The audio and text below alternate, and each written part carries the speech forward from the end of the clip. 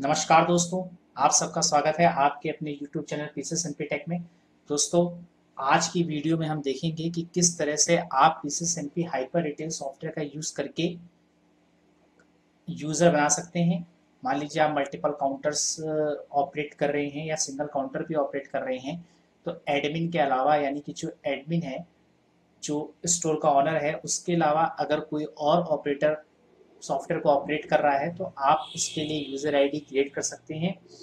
और उस user ID पर जो भी आप प्रिविलेज देना चाहें कि वो ऑपरेटर किस किस फॉर्म्स को एक्सेस कर सके, वो बिल बना सके, वो बिल को एडिट ना कर सके, या वो परचेस एंट्री ना कर सके, या परचेस एंट्री कर सके, इस तरह से कोई सेल रिपोर्ट देख सके या ना देख सके।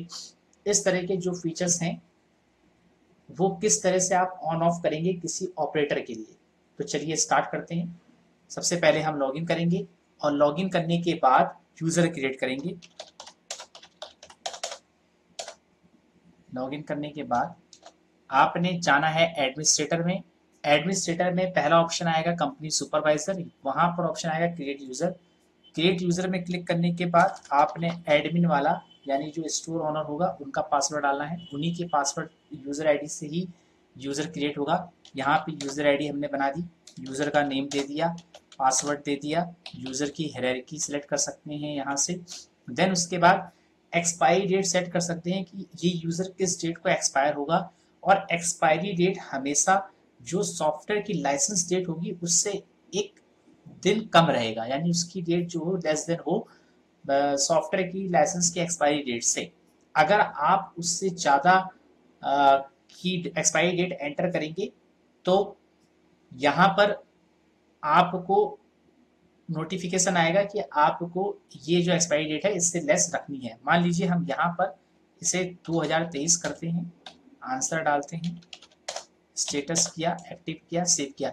तो date should be less than by 19 April 2023 तो हम यहाँ पर इसको चेंज करेंगे और ज़ीरो फोर कर देंगे एंड सेव कर देंगे।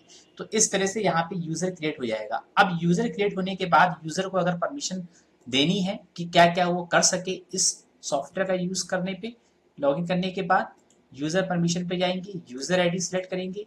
यूज़र आईडी सिलेक्ट करने के बाद यहाँ पे बहुत सारे फॉर्म्स की परमिशन दे रखी हैं। मान लीजिए हम बिलिंग की बात करें कि उनको हमको बिल की परमिशन देनी है तो यहाँ पे पी बी पॉज बिलिंग आएगा, इस पर क्लिक कर देंगे। अगर उनको बिल एडिट करने की परमिशन देनी है तो देंगे, नहीं तो बिल एडिट पे यहाँ पे अनटिक कर देंगे। कस्टमर प्रोफ़ाइल बनानी नहीं बनानी, जैसे हम मान लीजिए हम सिर्फ़ दो परमिशन देते हैं बिलिंग करने की और कस्टमर प्रोफ़ाइल क्रिएट करने की तो यही दो फॉर्म्स खुलेंगे, उसके अलावा कोई फॉर्म्स वो ओपन नहीं कर पाएँगे। सेव कर देंगे। सेव करने के बाद हम लॉग आउट करेंगे। लॉग आउट करने के बाद यूज़र की आईडी से लॉगिन करेंगे। एबीसी एबीसी डाला एंटर किया। देन उसके बाद हम सेल पे जाएँगे। सेल ऑफ़ गुड्स पे क्लिक करेंगे। तो देखिए सेल ऑफ़ गुड्स का यहाँ फॉर्म ओपन हो रहा है। सिंपली उन्होंने जो भी आइटम है, वो सर्च करना है एंटर एंटर करना है और बिल बना देना है। बिल बन जाएगा। अगर इस बिल एडिट करना हो तो बिल एडिट का फॉर्म है। सेल में बिल मॉडिफाई तो देखिए, यहाँ पे यूज़र आईडी पासवर्ड मांगा। हमने उनको परमिशन नहीं दी इस यूज़र आईडी को, बिल एडिट करने की। तो जो और सुपरवाइजर यूज़र आईडी पासवर्ड है, वो हमें प्रोवाइड करना पड़ेगा किसी भी बिल को एडिट करने के लिए। आई होप आपको ये समझ में आ गया होगा कि किस तरह से आप यूज़र क्रिएट करेंगे और उस यूज़र को क्या क्या प्रिविलेज देनी है सॉफ्टवेयर में, वो कैसे डिफाइन करेंगे। Thanks for watching this video have a nice